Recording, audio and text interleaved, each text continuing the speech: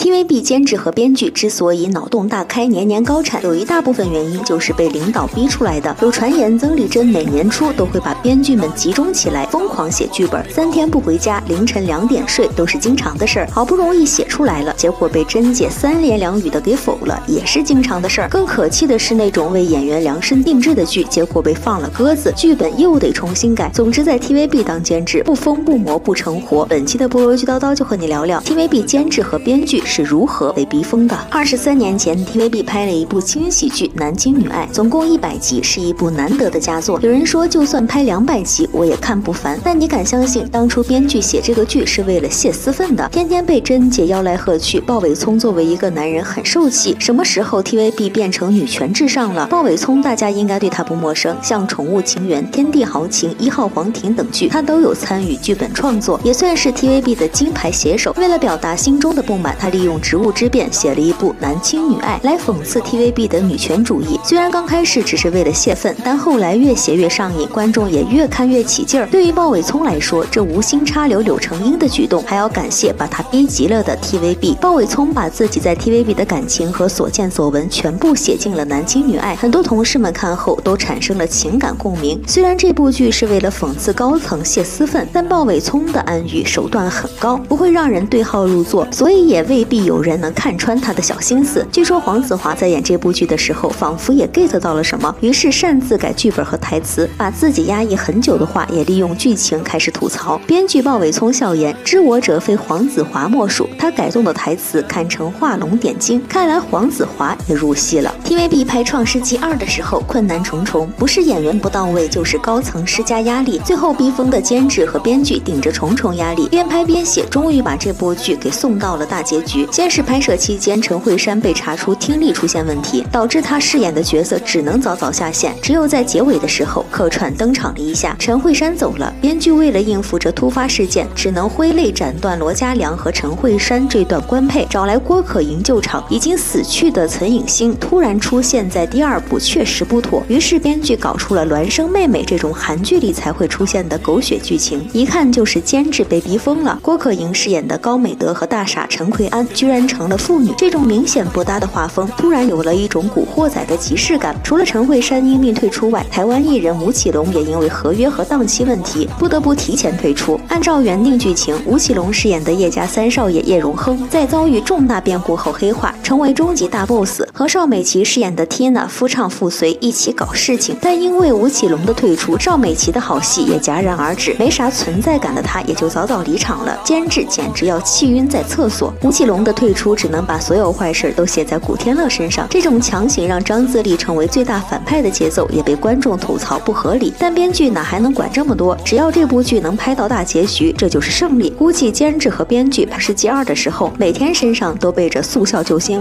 为了让张自力黑化逆袭的过程完美且合理，编剧只能将对手的智商下线。这种掩耳盗铃的模式，大家能忍就忍吧。霍景良都没脾气了，第一部运筹帷幄，第二部就变成了冲动的恶魔。最后被张自力瓮中捉鳖，你想想，谁还能比霍景良更憋屈？是谁导演这场戏？在这孤单角色里，对白总是自言自语，对手都是回忆，看不出什么结局。一首许茹芸的独角戏送给我亲爱的戚其义。都说 TVB 编剧脑洞大，这种工作强度，没两下子怎么能应付得来流水线作业？卖猪肉的绝对叫猪肉荣，卖鱼的肯定叫卖鱼胜，还有菠菜莲、刀疤强、大口鹰。论起名，我只服 TVB，比如溏心风。暴之家好月圆里的莲子蓉，听名字感觉天生就是做月饼的师傅。在警匪剧里，TVB 编剧起名更是一绝，比如说欢喜哥，脸上一直在笑，内心却极度阴险。辣椒形容做事风格毒辣，还有 b 扣 c C Laughing 哥等等，这种起名方是极具港味儿，中英结合，善用俚语，粗俗且易懂，普通且有趣。这或许就是被逼出来的极致吧。没有套路，如何一年写十个剧本？所以说，好编剧都是逼出来的，好监制都是。吼出来的 TVB 编剧为完成工作量，呈现出的剧情也会颠覆我们认知。比如李耀祥演的大太监，剧里的慈禧简直就是圣母；李莲英的形象也被塑造的过分美好。有人骂 TVB 篡改历史，但 TVB 编剧却说什么是历史？历史只记载事情，但从不记载人的感情。我们从来都没想过要改变历史，只是用一个普通人的成长角度来描述李莲英。总之，地有多大产，人有多大胆，不把人逼疯就不是 TVB 了。你认为呢？评论区聊起来，关注我，怕你想看 TVB 的时候就真的找不到我喽。